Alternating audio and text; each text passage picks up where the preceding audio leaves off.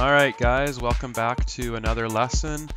And today we're going to be looking at um, figures and graphs and, and just putting them to, together with patterns. And so just as a start here, I, I kind of have a pattern going with these little figures and the squares are getting larger and there's more of them. And so just taking a look at this, how are these patterns alike and how are they different? And if you were to figure out what goes in figure 5, what would you draw? Alright, so here's a couple ways we, we're to look at a couple ways that we can represent a pattern on, on with coordinates. And the first thing is kind of just tying it together. We can model a pattern with tiles on grid paper. And you can see I started making a pattern here, and the pattern increases with every figure. Um, the shapes kind of stay similar, but yet they grow. And the funny thing is we can make a table from this graph. So we're gonna we're gonna apply you know everything we've learned so far and just kind of mix it together. So uh, I made a I made our little graph really small with our little figures, and you can still see figure one, figure two, figure three, figure four, and figure five. And I made a table here. And you might notice something that we learned last lesson. That's the you know ordered pairs. And so I have the figure number column here. So this is the figure number, and this figure one represents this figure one here, which is looking like that. Okay, so figure one is here, and that figure one has three squares in it. So that would be this, three squares. And I can make an ordered pair out of that. And the first number is one, comma, three in brackets. And that's an ordered pair as we learned uh, last time. You can see figure two. That's this guy here. Is there five squares? One, two, three, four, five. Yes, there is. There we go. And we make an ordered pair two comma five. So you can see that pattern kind of continues. And if we're looking at pattern rules, um, the figure number is starting at one, goes up by one each time. That kind of is kind of you know how it's going right here. And the number of tiles is starting at three and going up by two each time. We're adding two each time. And then the ordered pair kind of reflects both of those. Well, we can take this table and we can graph it. So I took our table and I made a graph. And so we can graph this. So we're going to use the ordered pairs column. So figure number one, and I'm going to go one to the right, and I'm going to go three up. So one, so one, two, three. I'm going to make a dot right there. That's my ordered pair. I have two to the five, so that's right here.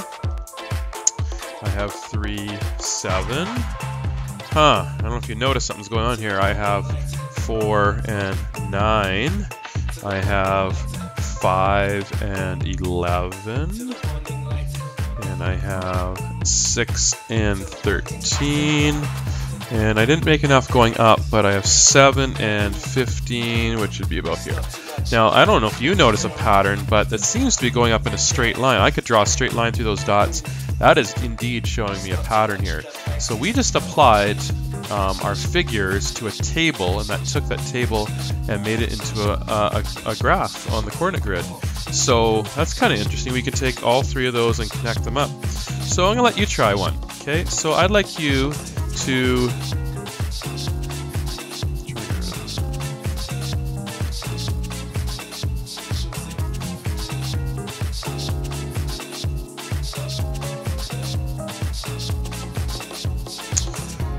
So I'd like you to try this. So I have a model here. Uh, I kind of just drew them all for you, and I only did four because I only had room for four. But you can kind of see that um, this this is a pattern. It, has got you know figure one, figure two, figure three, figure four. It's it's getting larger. It's it's kind of an L shaped, and we can take this and make a table of it. So this is what I kind of want you to do.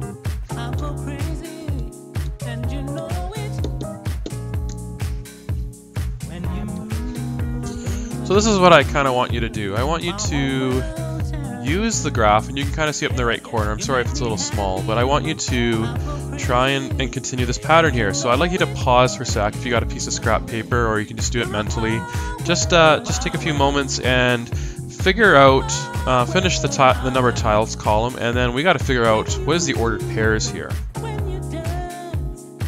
Okay. Um, now that you got all your answers down, I don't know if you notice a pattern, but uh, the number of tiles is, is starting at 4 and going up by 3 each time. So that means that if I was to draw figure 5, there'd be 16 squares. If I was to you know draw figure 6, there'd be 19 squares. And if I was to draw figure 7, there should be 22 squares. Okay, so now we can make the ordered pairs. So uh, the first one is brackets, and that's figure 1, comma, 4. And we have 2, comma, 7. We have 3, 10. And 4, 13. We have 5, 16. We have 6, 19. And we have 7, 22. Okay, so we got that going. Okay, and then we can take this and graph it. Now, again, I'm going to have to quickly fill this in again. So that was 16, 19, 22. So that was 1, 4, 2, 7, 3, 10, and 4, 13, and 5, 16. And we had 6, 19. I'm sorry if this looks really messy. 7, 22. Okay, so maybe I'll use a blue, a blue color here. So 1 and 4, 1, 4 was that first guy. The second was 2 and 7. And we have 3 and 10. We have 4 and 13. I might have room for one more. We have 5 and 16. So about there. Now, if I made a mistake with my ordered pairs written here, I would realize this um, by when I was graphing. If you realize that all of a sudden you have, well, let's use a different color. I have, you know, one here, one here, one here. Clearly there's no pattern there. Something's gone awry. So that means that we've made a mistake somewhere, but you can see by my blue dots, they're going in a straight line. I know that there is a pattern going on, okay? And I know that it is moving one to the right and one, two, three, up. And that's what's happening. This is going up by one, and this is going up by three. It's kind of connected. So I know that I have done this correctly. Well, we're not quite done yet. We have um, another one for you to try. So just look here now. If, I don't know if you have graph paper kicking around, but if you do, um, try and chart this one here.